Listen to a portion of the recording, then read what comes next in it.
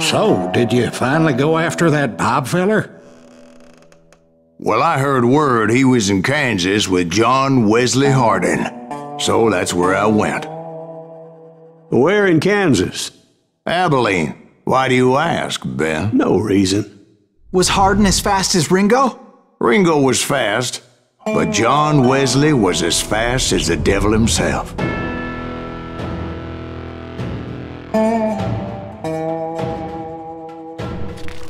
Hell, he killed his first man at 15. From that day forward, he had a price on his head and wouldn't back down for nobody, not even Wild Bill Hickok himself.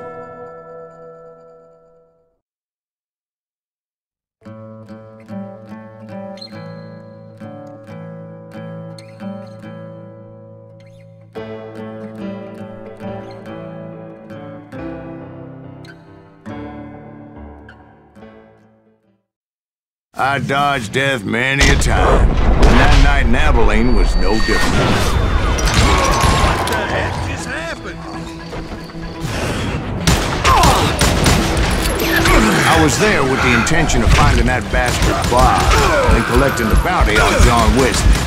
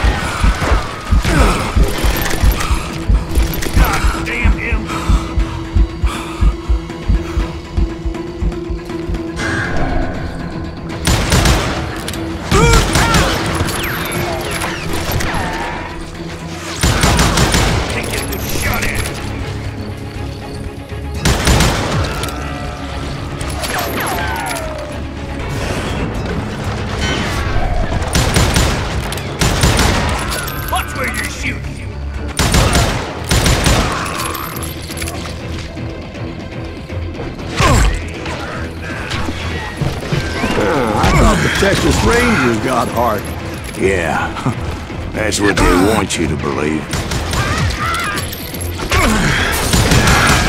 It was cold and a witch's tit and a brass bra that night as I fought my way past his loyal compadres.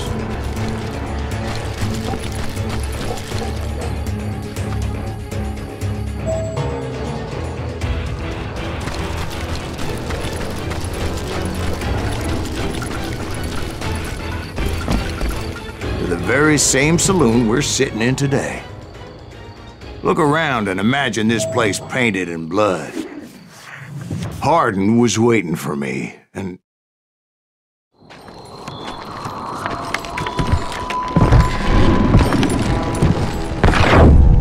Wait, I'm jumping the gun here. Let me back up and give you some background on this some bitch. He deserves that much. Don't you think so, Ben? John Wesley Hardin was a killer. By the end, he confessed to taking the lives of 42 men. He was a bona fide folk hero by then, and had amassed a gang of armed miscreants and other assorted thugs. He and his men set up camp outside of town, and I was hoping Bob was among them. Damn it! Shoot that son! They didn't ask why I was there. They knew. Most of them were wanted as well. I figured Hardin was here somewhere, but to get to him, I'd have to get past his gun. I had to spill a lot of blood to find out Hardin wasn't in that camp. He was carousing in town with his closest friends. Hardin's boys apparently didn't want me to reach the Bull's Head. Some were hightailing it into town to inform their Hefe of my unwelcomed presence.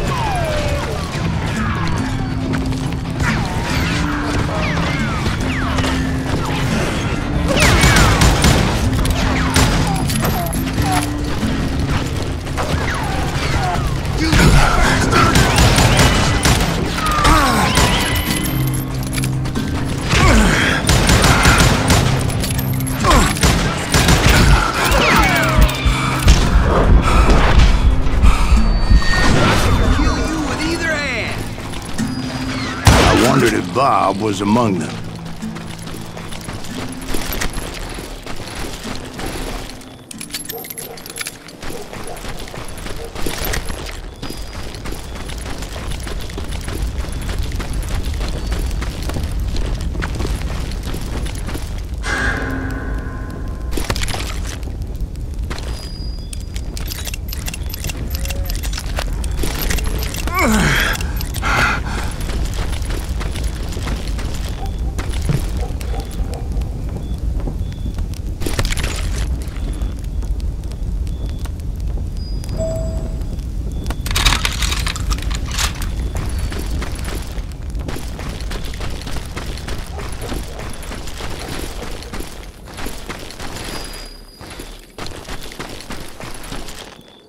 And I steeled myself for the fight ahead. For as good as I was, deep down I wondered if John Wesley wasn't just a little bit better.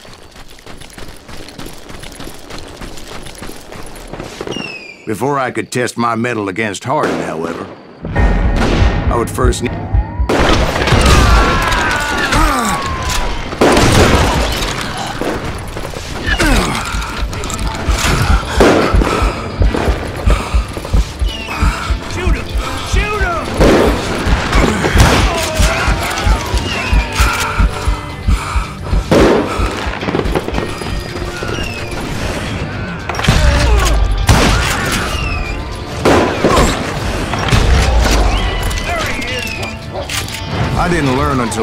that that night was in fact his birthday celebration.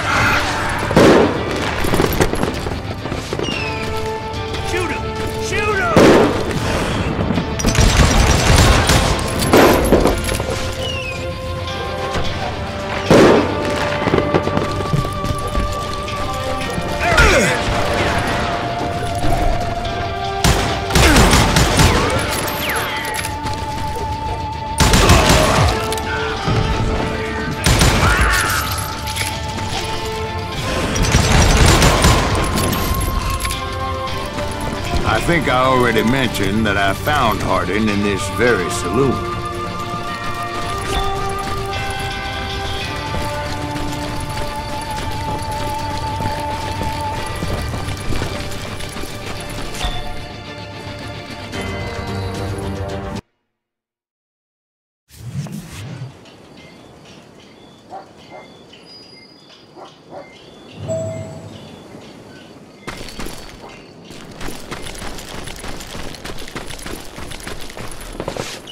Before I could test my mettle against Hardin, however, I would first need to dispatch his cadre of hired killers. Most of these degenerates were beyond redemption, but John Wesley might have been a different story.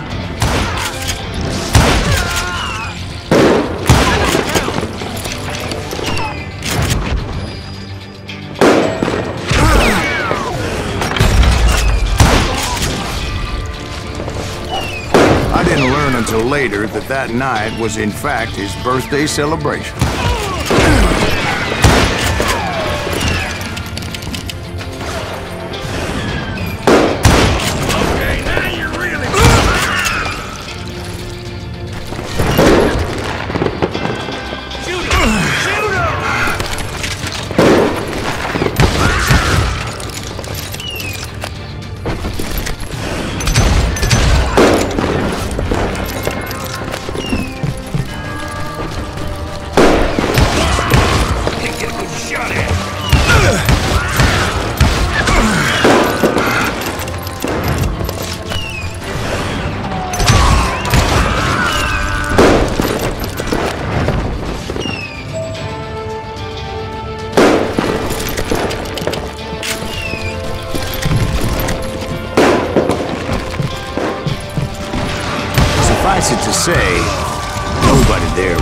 Was to see me.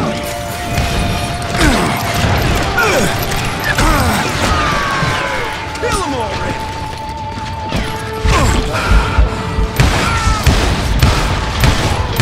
In fact, I felt a certain hostility.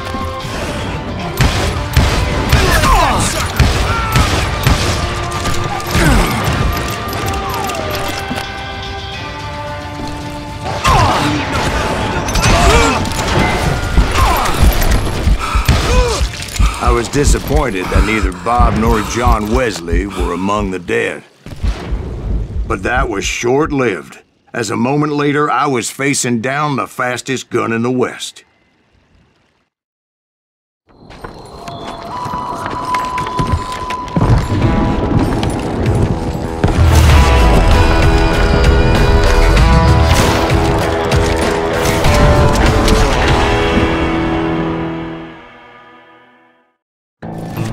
I felt a bolt of adrenaline. Or maybe that was fear.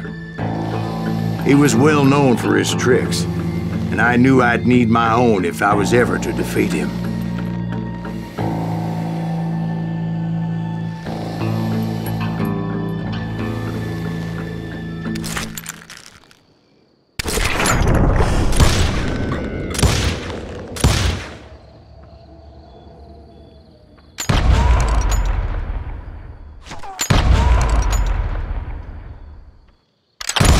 That man was faster than grease lightning.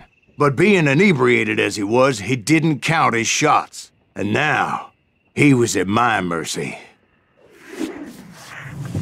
So he didn't die? No, I sent him to prison.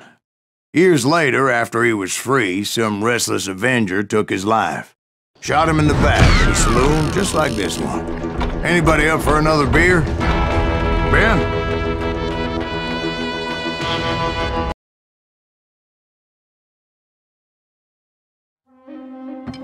Thank you, darling. Yeah, some say revenge is a dish best served cold. So whatever happened to that Bob guy you were after? Personally, I'd like to hear some of your other adventures. Like, uh, I don't know, did you ever go toe to toe with a red man?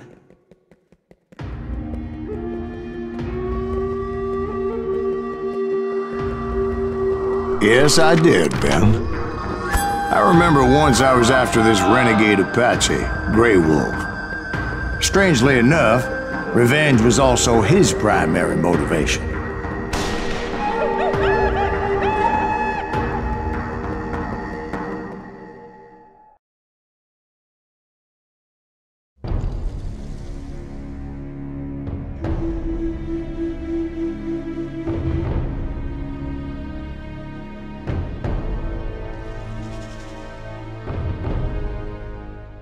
Bounty was put on Grey Wolf's head, and that's how I came to hunt him in the mountains.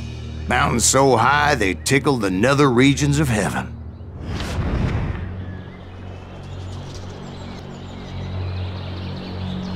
Grey Wolf was a Chiricahua Apache medicine man who had led a war party in revenge for a massacre against his people. The U.S. Army had attacked his tribe during his daughter's sacred sunrise ceremony, and the slaughter was unspeakable.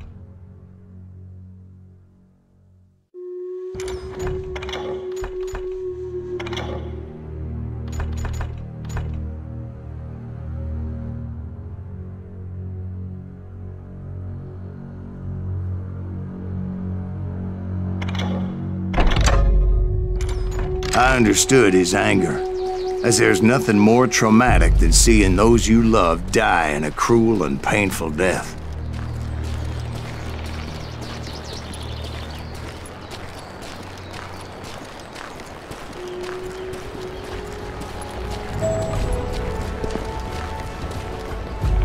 Right from the beginning, I couldn't shake the feeling that Grey Wolf was watching my every move.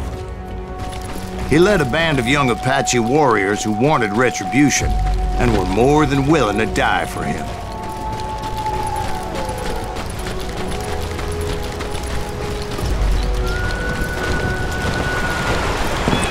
They saw me before I saw them.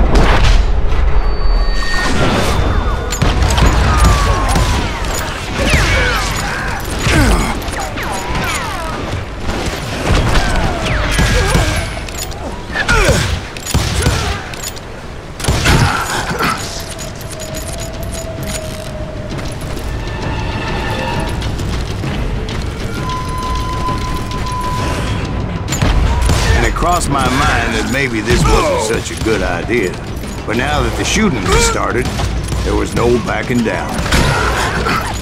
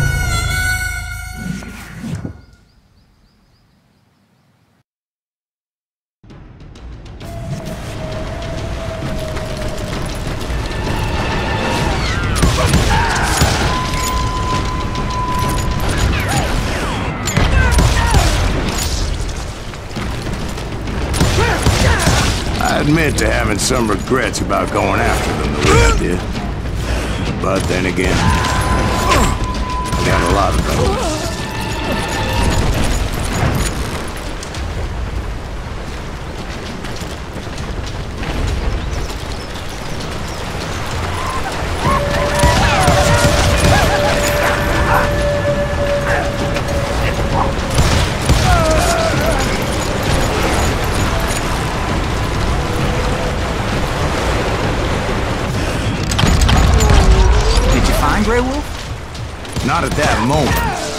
Did find the entrance to their hideout.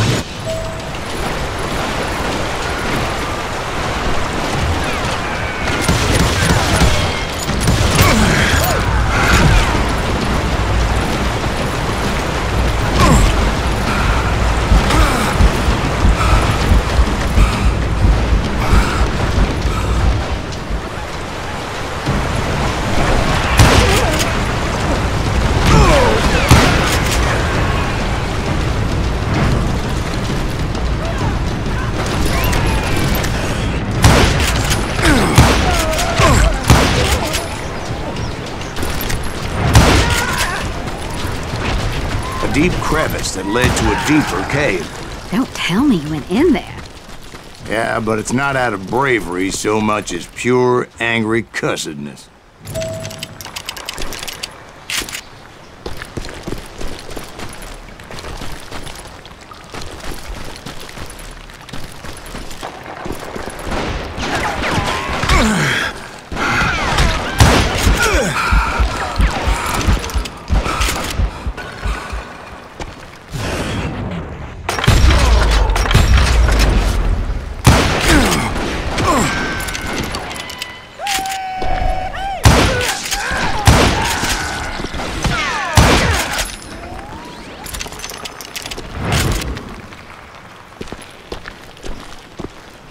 See, back then, I had a stubborn streak a mile wide, and I wasn't about to back down.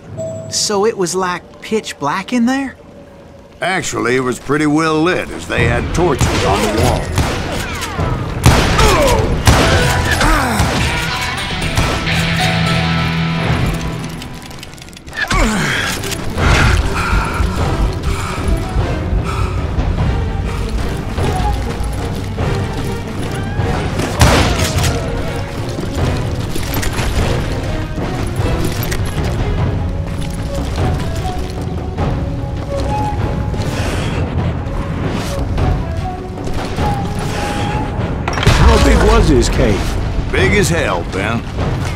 Chiricahua had hid out there during the Indian Wars.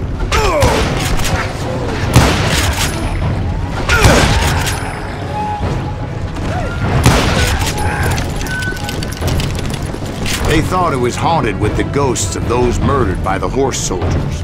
The cave was haunted with dead Indian ghosts?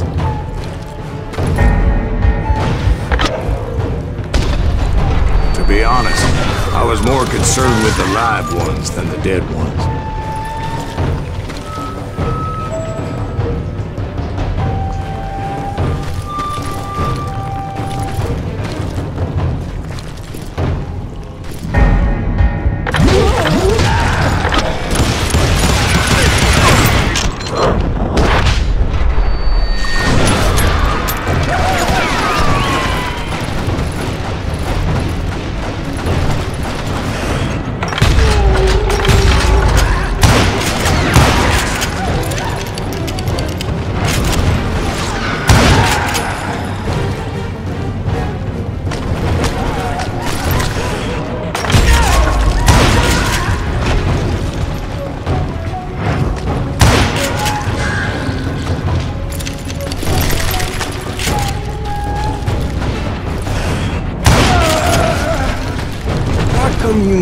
Much about engines? Ah, a few years back, I was married to two Mescalero women.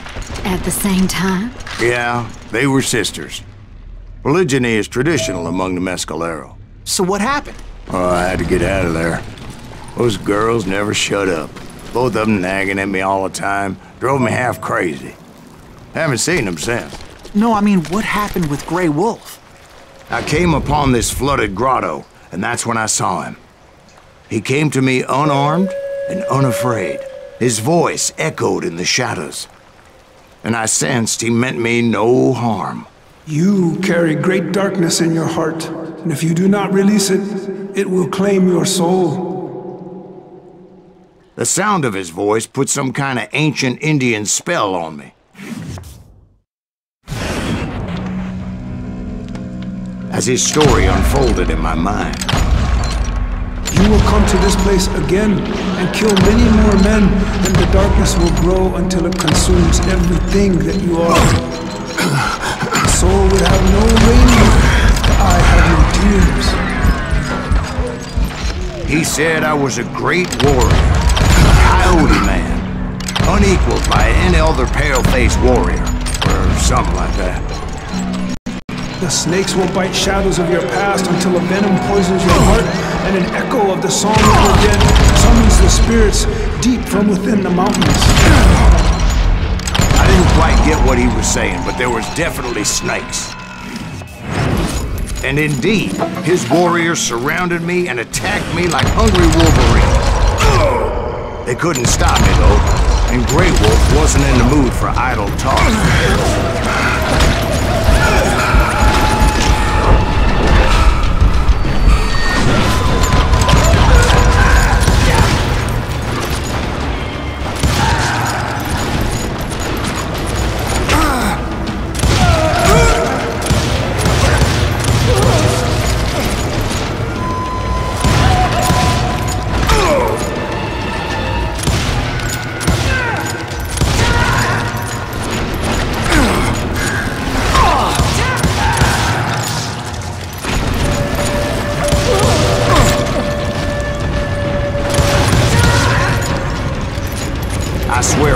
See any way out of this trap. But suddenly, one just appeared. Kind of like a miracle.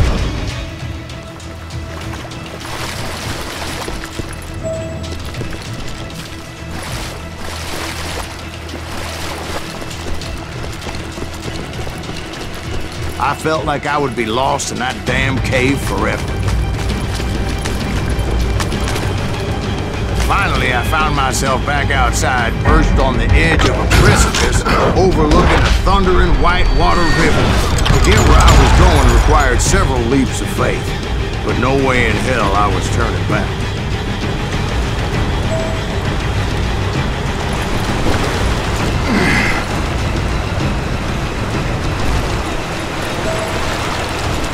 I chased after him, determined to make him explain the meaning of all that mumbo-jumbo.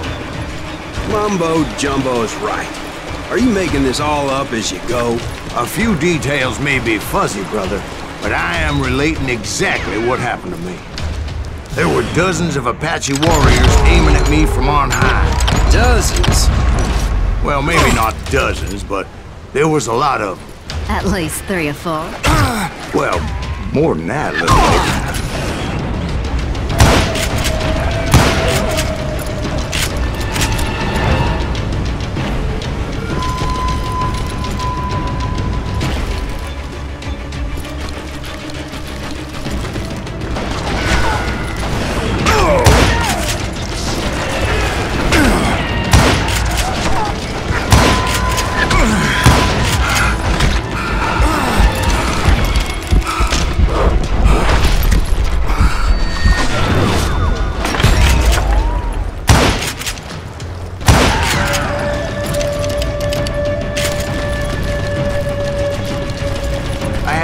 climb up creek ahead of me and scrambled up those rocks like a mountain goat.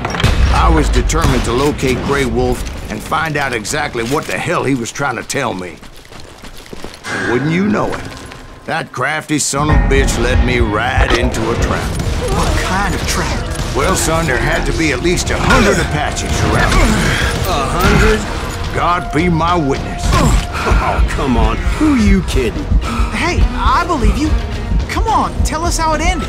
All right, but I'm not gonna drag this out. Where were we? You were surrounded by a hundred Apache warriors. Well, I didn't take the time to count them exactly, but there were a lot of them.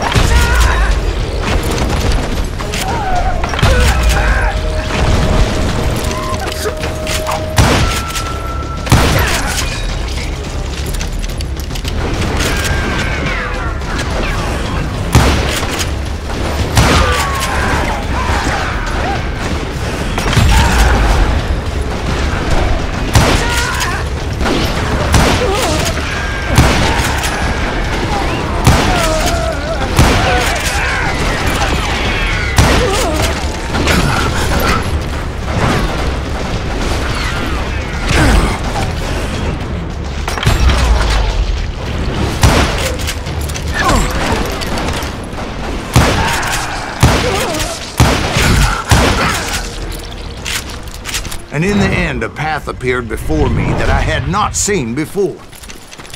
I followed it as I desperately needed to find out what Grey Wolf was trying to tell me.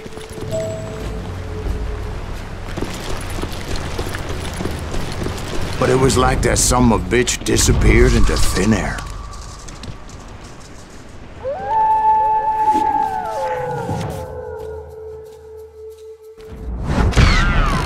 Never did find him. And never did collect my goddamn bounty.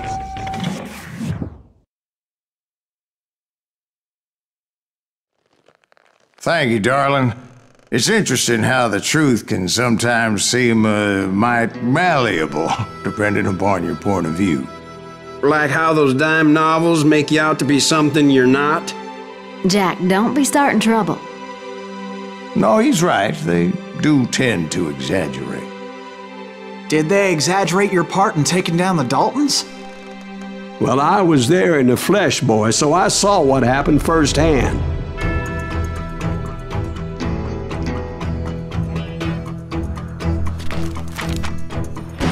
Those Daltons were lawmen once, before they all went bad, robbing banks and trains clear across the territory. Until Coffeyville, of course. I was one of the citizens who took up arms that day. Fighting on the side of right. I did my best, sir.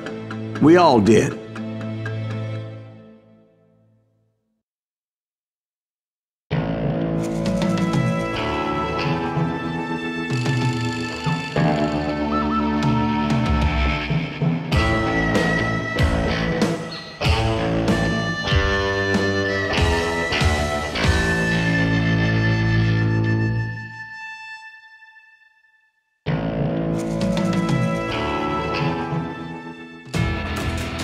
Was early morning. One of my friends was a local gunsmith, and he handed out firearms to anybody who'd take one. You see, the Daltons got it in their heads to rob two banks at the same time. Two banks on the same damn street. He can't stand against the law.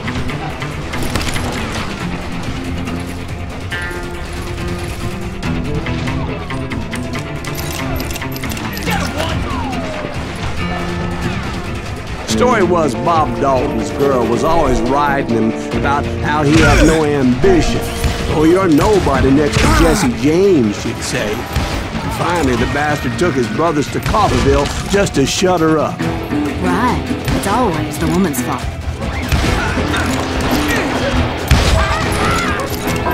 Well, the locals recognized the Daltons right off.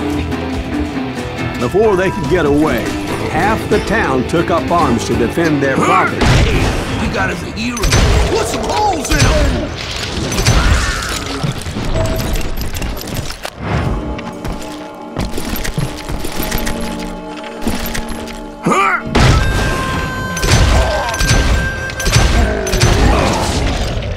The brothers paid dearly for their stupidity, but everybody knows they had it coming. There's more to it than that. I read all about that day, so I know for a fact that it went down very differently. First of all, it was high noon. A posse of U.S. deputy marshals were on the rooftop across the street. Get ready, boys. They're gonna make a move. The lawmen had been tracking the Daltons for months, and now they finally had them dead to rights. Among them was a bounty hunter feared by many a lawbreaker. This man had no intention of letting the Daltons slip away. The marshals tried to get the Daltons to surrender. They'll give up eventually. We just gotta wait for something to. This bounty hunter knew that the brothers were far too proud to ever lay down their guns. So he went in there alone to confront those criminals. One of the marshals shouted, Where are you going? Are you crazy? Hey, where do you think you're going, dumbass? That rifle's mine.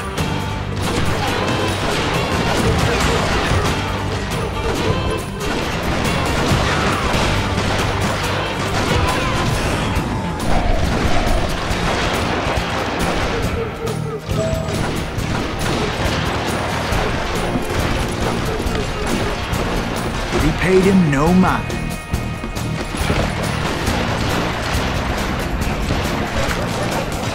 Saw a way to get around to the back of the bank.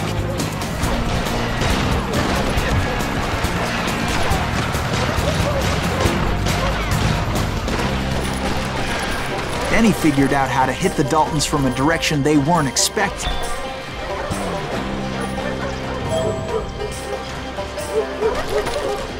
From above. Fortunately, a water tower was right there. A moment later, he was climbing up a steep ladder, laughing at danger as he did.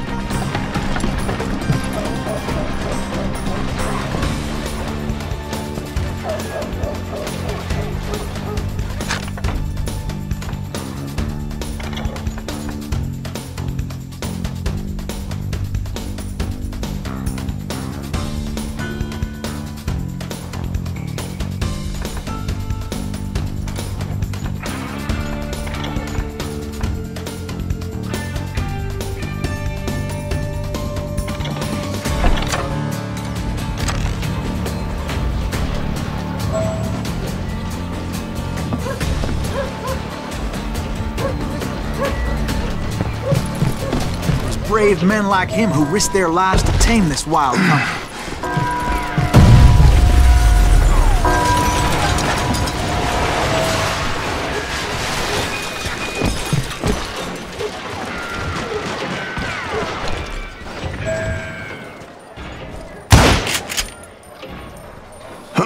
We've got company.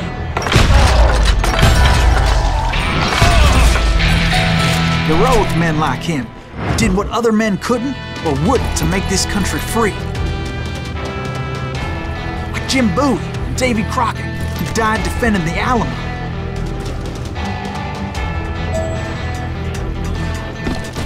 Is that Silas Greaves? Son of a bitch!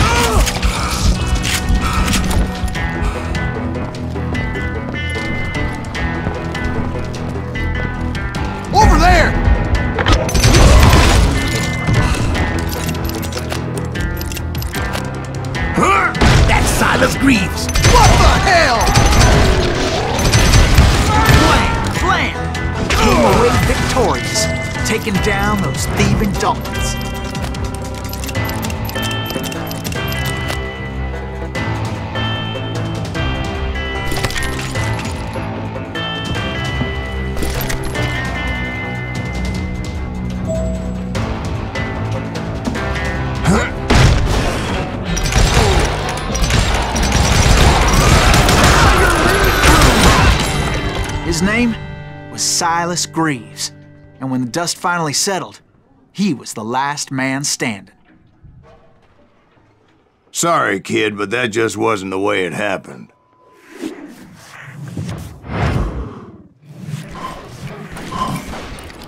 It was early evening, not high noon.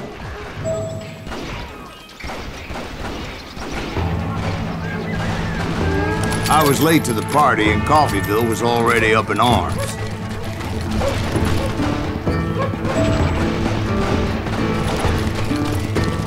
Daltons blew up a safe and we're all set to hightail it out of there. Those pathetic deputies surrounding the bank were dropping like flies.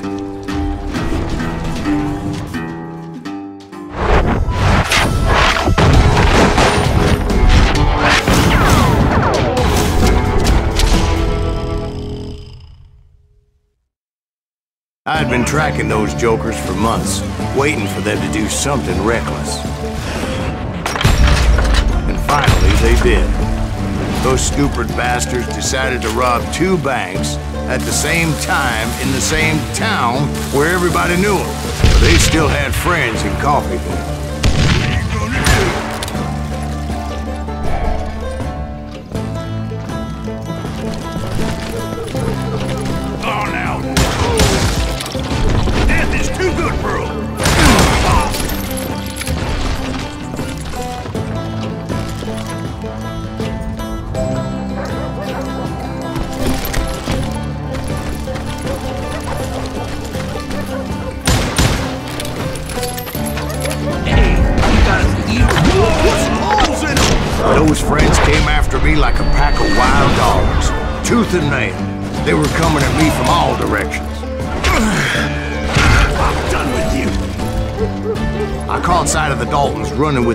And didn't want to lose them. Problem was, they knew the town better than I did. And to top it off, I found myself in the middle of another shootout entirely. Did the Daltons hole up in somebody's house?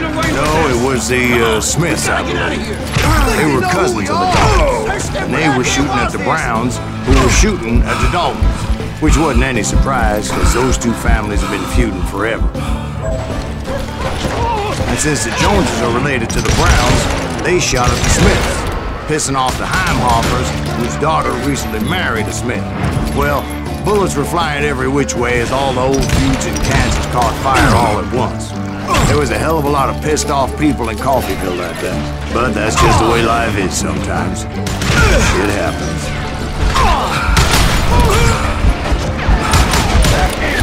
Damn headache.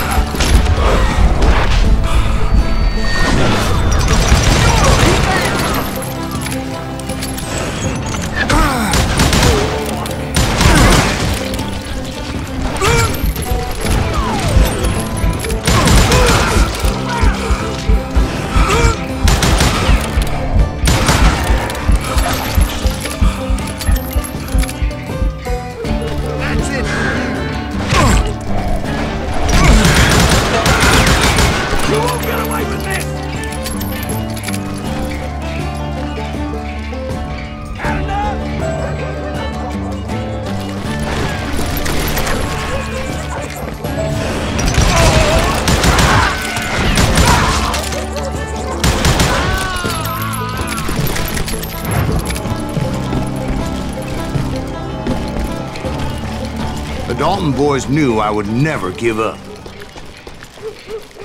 Those Daltons weren't the sharpest knives in the drawer, but they always stood together. They set a trap to slow me down and allow at least two of them to escape. The third brother stayed behind to plant me, just in case that trap of theirs didn't work.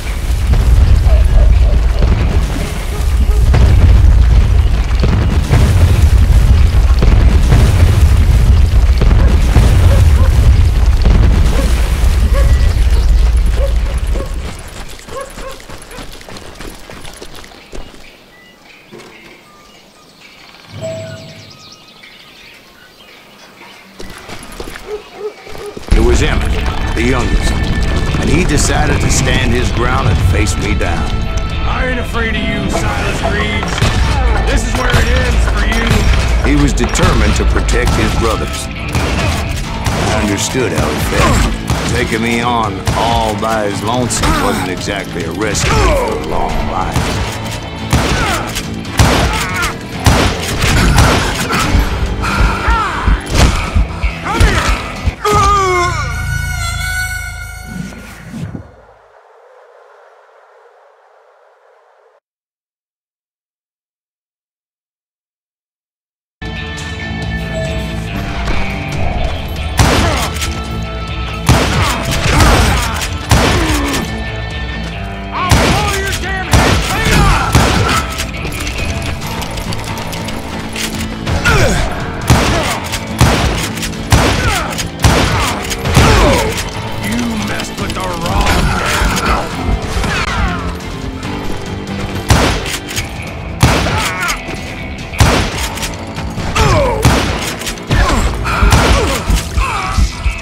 Emmett Dalton survived the robbery in Coffeyville. He's the only Dalton who did.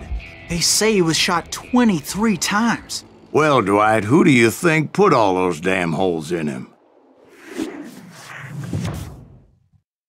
But I have to admit, that boy had grit.